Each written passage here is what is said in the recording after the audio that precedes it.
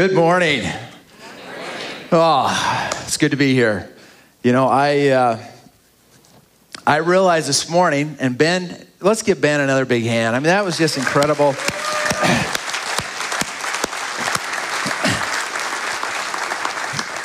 I realized that uh, when he was talking about appreciation, I was feeling rather emotional this morning. so, especially to think he was dancing to thank all of you. Wow. You know, this is a, uh, this is a great event. We have grown by about 30% a year. Originally, we started talking about the School Improvement Innovation Summit. We didn't want to do an event.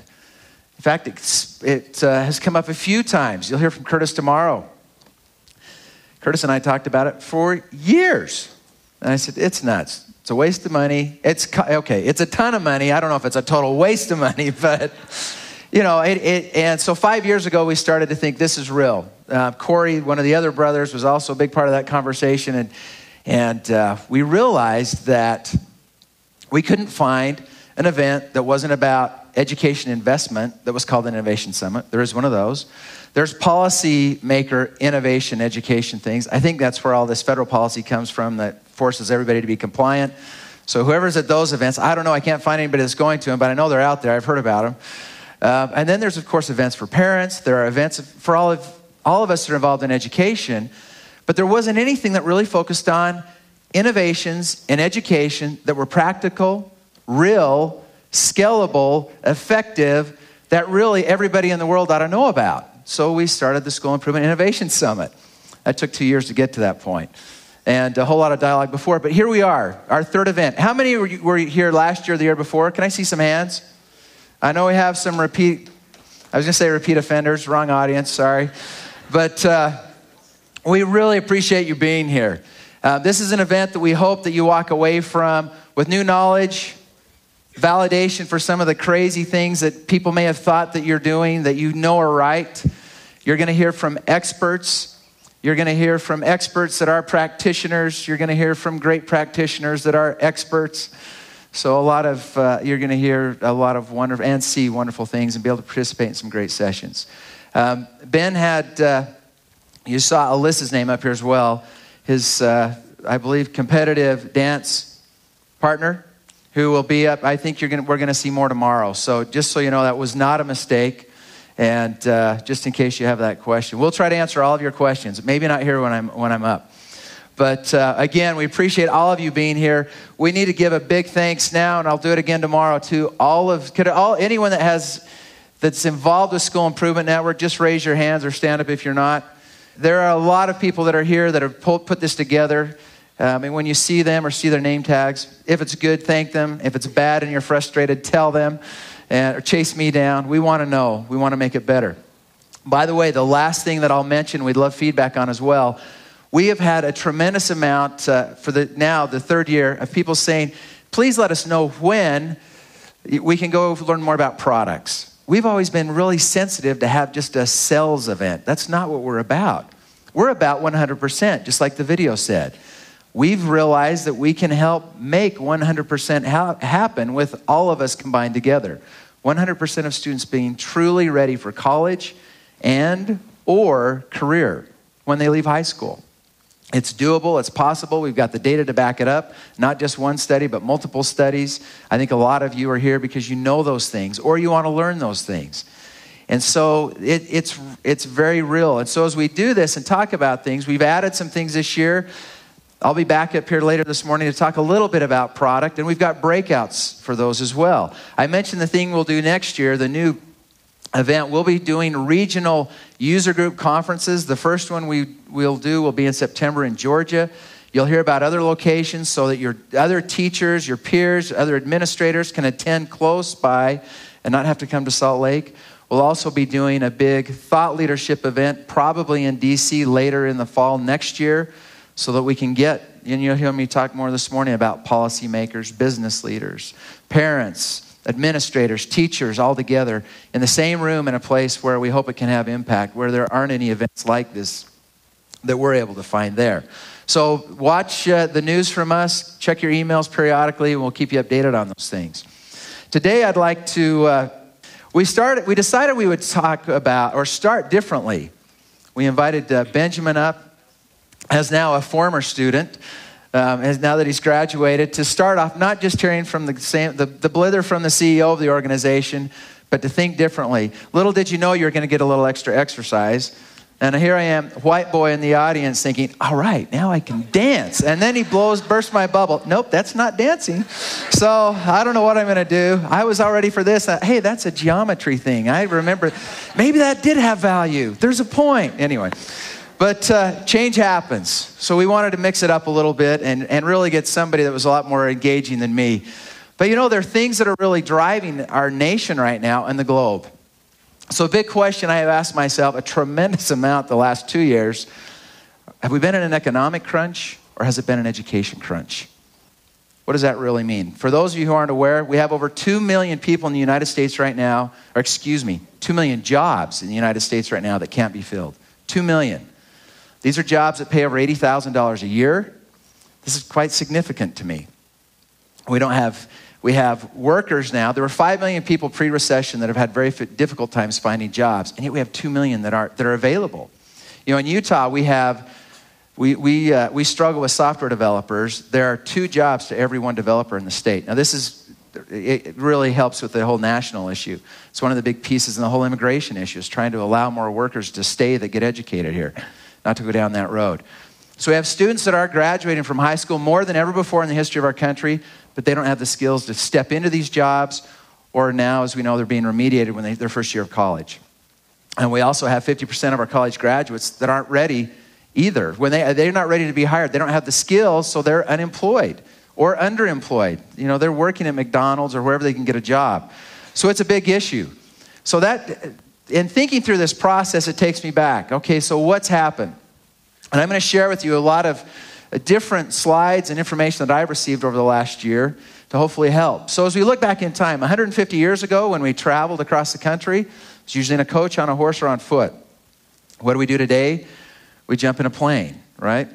Okay, we'd all probably like to have one like that, but, uh, but we do. We get on a plane. Most of you are from out of state. We, it's easy. I was in Orlando yesterday. In fact, for four days, I kept thinking, gosh, if I could just get to the summit, I could relax. So I was at the park, yes, with the family, and, and it was a blast, but okay, sidebar. All right, Silicon Valley 100 years ago, orchards, right? Today, we hear Silicon Valley, what do we think about? Facebook, all the, the big tech companies. Crazy things have gone on. Not only in the US, but now we're seeing these hubs develop in Sao Paulo, Shanghai, Mumbai, Dubai, and all over the world. So, really, what used to be the Silicon Valley, which was this hub of technological and entrepreneurial innovation, has really turned into a global. It is global. So, when you hear this, those, those PISA scores that kind of drive us all a little bit crazy about how terrible we may be doing as a nation, it's important to realize that we are truly global now.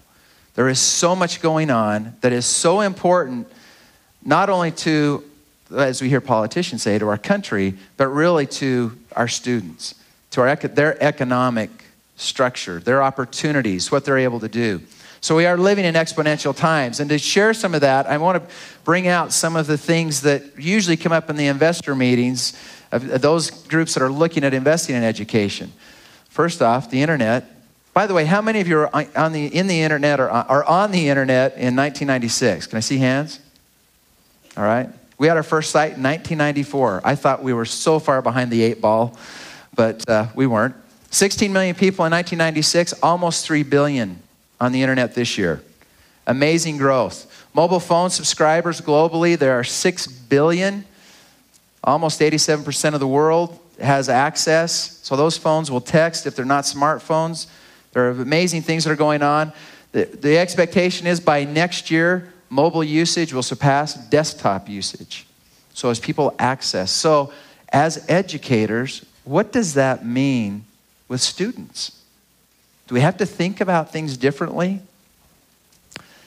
What else is going on? Well, there's some of these companies that you may or may not have heard of. Pinterest, how many have Pinterest accounts in here? All right, we've got six men I raised my hand just to get you to. I don't yet. So then I should. I know I can only get away with that maybe for a few more months. And I've offended everybody else, uh, every, most of the guys that work for it, work with me. So uh, Pinterest started in, in 2011. There's 49 million subscribers. Think about these numbers. Dropbox, uh, Dropbox, 100, over 100 million. Yeah, me too. Instagram, how many hands? Let's stick them up there. You know, I Instagrammed like crazy this week in Orlando. 100, over 100 million. LinkedIn, how many on LinkedIn? 225 million users. LinkedIn was a little slow, it's gone crazy. They changed the rules. You don't have to say I'm your friend anymore, you know me. You can just accept me. So, um, anyway, Twitter, 500, over 500 million, half a billion people. Skype, how many of you Skype? How many of you Skype internationally? A few, yeah, a lot of hands. The price is great, right? 663 million people. YouTube, this number says a billion plus. You know they have a billion unique visitors a month? That's amazing. And I'm sure a lot of that billion is the same billion every single month. But Facebook, we know 1, 1.1 billion. This, these are just mind blowing. Now, it's not just U.S. companies. All of those groups started in the U.S. Well, predominantly. We have uh, oops groups. You know, a big, a huge community in Russia, huge community in India, huge communities in China. We just shared a few.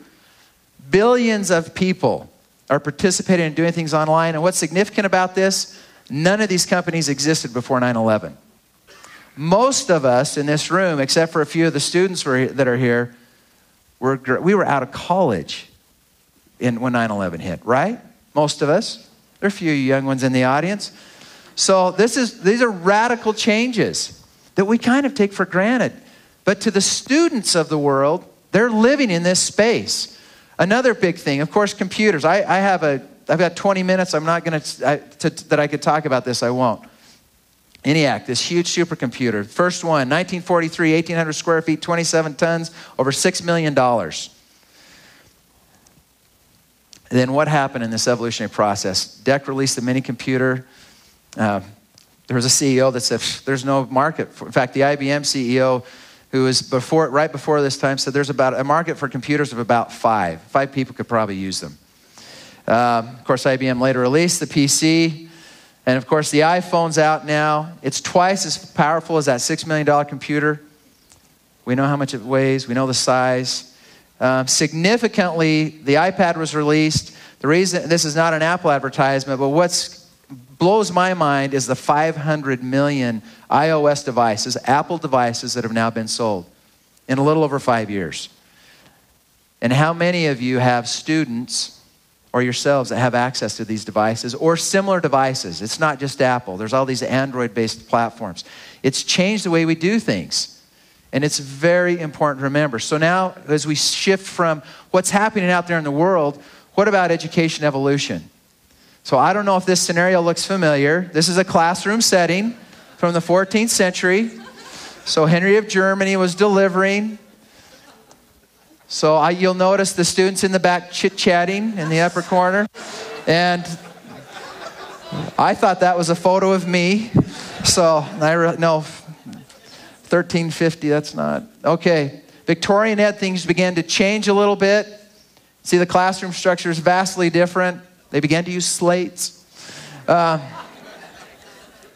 I found an Egyptian uh, picture with papyrus. They didn't throw that in. Today's classroom, you can see they have a smart board.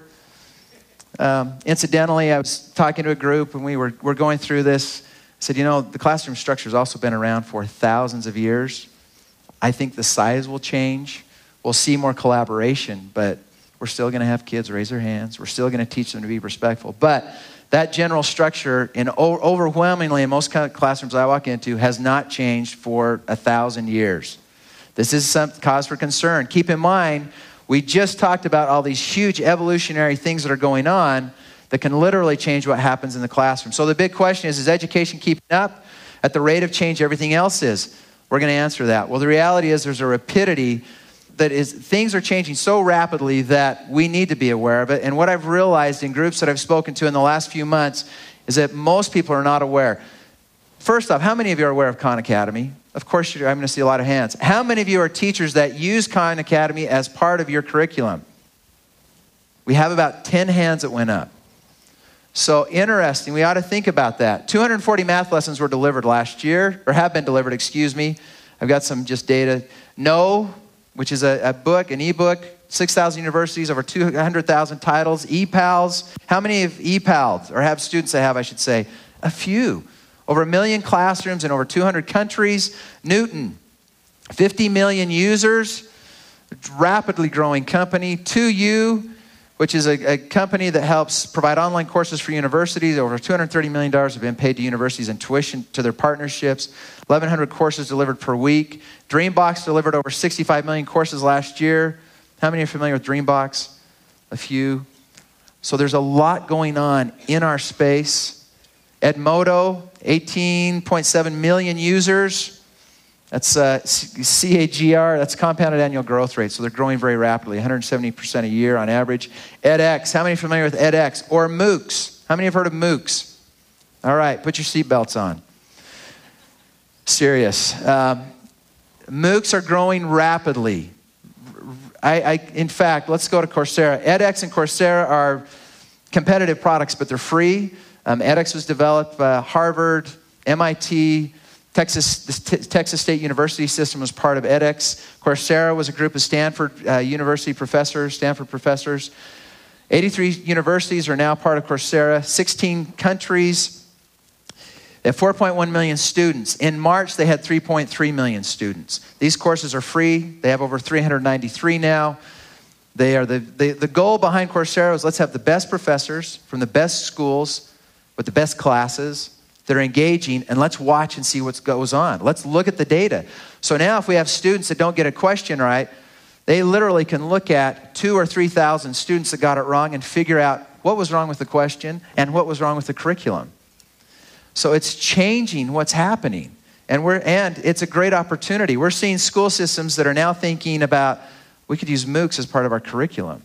The state of Utah passed a law, Senate Bill 65, two years ago, in which high schools could actually, high school students could sign up for an online course, take the course, get credit for it, and the dollars that would normally go to that high school would go directly to a provider. I think it's $734. So, right out of the school's budget. They didn't have to approve any funding, the funding was already approved. So there, and there are a lot of states that are considering doing similar things. Now that's not bad. We want to increase opportunities for students, but we also want to make sure that they're very sound, great learning experiences. Uh, School Improvement Network. I don't know if you, how many of you have heard of this organization. They're great. Uh, almost 9 million viewings. This is very focused on professional learning, very different from a lot of the very broad based student products.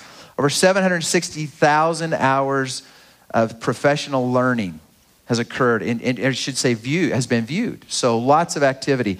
Google, 2 billion education searches per month. Um, six billion per day, Inter, you know, and those are education specific. Classrooms are becoming more collaborative. We're seeing these big changes. You know, the, the uh, in the in the business environment, a year ago, I was sitting in a session. In fact, it was about eight months ago, hearing several executives globally talk about what they're doing in their environments. It was amazing to me what they were saying. We need, uh, our, our environments need to be collaborative. We want our employees to think entrepreneurially. We want them to be able to be adaptable. We want them to communicate with each other. They need to be articulate. And we want to give them a lot of flexibility. Uh, those word, do those words sound familiar? We talked about having kids be able to do the same things. Yeah, we've been talking about this for a decade, maybe, well, probably 20 years or more.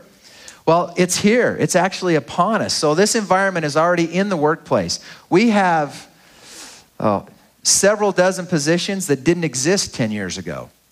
And, there, uh, and all of that talk that we heard, hey, we're teaching kids about jobs. These students need to be prepared for jobs that don't even exist. Those days are here.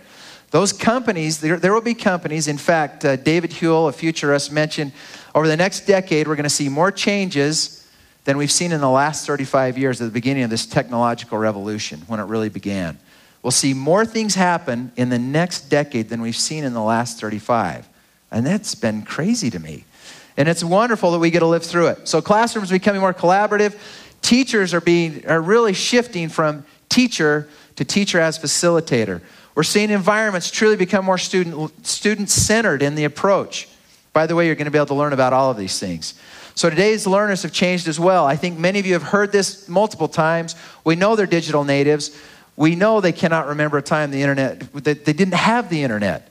I mean, most kids aren't going to remember a time they didn't have Instagram and Facebook and all those other things. They're just part of their life. And remember, they carry knowledge in the palm of their hand. How many of us, how many dinner parties have been changed forever from the guy that showed up that knew everything? Oh, really? The Civil War did what? What did Robert E. Lee do? Well, let me just pull that out and check it on Google. No, as a matter of fact. So, things have changed but has the learning environment. These learners, again, oh, excuse me, these learners, they read message. You know, they read the messages that are sent to them if they're texted. I don't get to the 300 emails I get sent. I just pray I don't miss the important ones.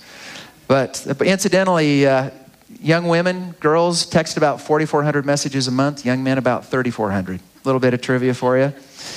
The other important piece is that they can publish anytime they want to the world. They can share it with anybody they want. You know, I've realized my daughters, who Instagram like just an amazing amount, only Instagram to a small group. They don't share it with everybody, but they can. And, and so the choice is there. So we, we know that it's really important. It's critically important we figure out how do we create these environments in schools? How do we help these students who desire so badly to influence the world and have impact you know, but I haven't heard anybody say, why do kids want to do this? Why do they want to be collaborative? Why do they want to change the world? They communicate with the globe. They already do. It's not a matter of, well, gosh, if we could just get them to do that. They do it anyway. My son can jump on Xbox and play with somebody else in England or India or Japan or China or any place. It's already here. So we need to make sure that we are teaching kids these skills that I've mentioned, that they're able to think critically, they're able to be adaptable. They're, they're really, they're truly lifelong learners and they, they have a hunger for learning, that they can communicate, they collaborate, they can work across networks. So we know these things are important, but what's the solution? How do we pull all these things together? How do we keep in mind all of this stuff that's going on around us with all of these companies that are going fast, these jobs that are being created, the challenges that are there, and really make a difference in the schools, in the environments, in the classrooms we are, what we've realized that 21st century teachers are the key. They are the solution. I was flying back from Kuala Lumpur last fall from another education event, and it hit me on the plane. How, I was asking this question how do we help people get this? And the key is teachers are the creators of our workforce. It's the teacher. I was mentioned this to somebody in our office. I said, What do you think of this? They said, Oh, you know, it's parents. I said, No. Parents want to, hopefully, are teaching their kids values and ethics and how to be and how to act and respect and all those things, which we're teaching in school as well, a lot of places. But I said, it's when we really need to learn. If I want to learn how to be a doctor or a software developer, I go to school. It's a teacher that's going to teach me. And we forget often, we being everybody else. Uh, so it's really critical that as we think about 21st century teachers, that we make sure that we create those environments and provide the tools and resources to help them truly become that. That they're highly effective, highly engaging, that they focus on learning and thinking and meeting the needs of every student to help them differentiate. BYOD is not a bad term. How many are familiar with BYOD?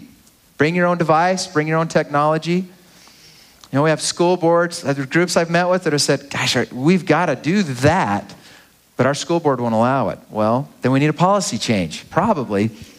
And you can save a lot of money. Uh, anyway, that's, but that's a, it's a, it's, this is very real. So, the rate of change, how do we close that gap? Well, the reality is, we believe as an organization, the key is through highly effective teachers and that are focused on developing lifelong learners. And every student can really be, they really, truly can be successful. So, what do these highly effective teachers do? Well, we know that they understand what effective really means, that it's all about 100%, that they believe every student can be successful. They have high expectations for every learner, regardless of where they're from, regardless of what they look like. They create environments that are engaging, that are relevant, that are exciting. But then the big question is well, how do we deal with all this stuff? How do we actually implement it? Where do we go? Well, folks, you've come to the right place. So That's what the summit's all about. We really hope that you're able to answer some of these questions. We know, I know that you've heard a lot of the last part of this presentation before.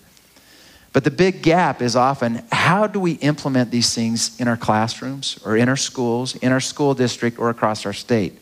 Can we really do it? Well, you can. And you can learn a tremendous amount while you're here. This morning after me, we're going following me, we'll have uh, Sonja Alexander come up and uh, Aaliyah Henderson Rosser. We're going to talk about online professional development and what they did in their school system. Following them, we'll hear from Alan November, who will talk about, he, he, he's an expert on learning and 21st century learning. And hopefully he'll push everybody's buttons just a little bit with some great questions. But you'll, and you're going to learn a lot more about new teacher standards. What do things look like? What are some of the opportunities that are out there? And you'll probably be stuck hearing from me a couple of times. But the most important piece, making 100% happen. That is what we're about. And we hope that you can join us in our cause of truly making 100% happen. That you can believe that it's possible, that you can see solutions and understand that it really is. Oh, there's me. I did that. Anyway, I hope that you can join us, that you can see ways to do these things, that this just is not a lovely event where you're able to give up a few of your summer days and spend a lot of time meeting wonderful people, but you're able to get some great ideas of things you can take back and implement in your classroom or your school or your district or your state or with your friends or wherever it is and truly make 100% happen. Thank you.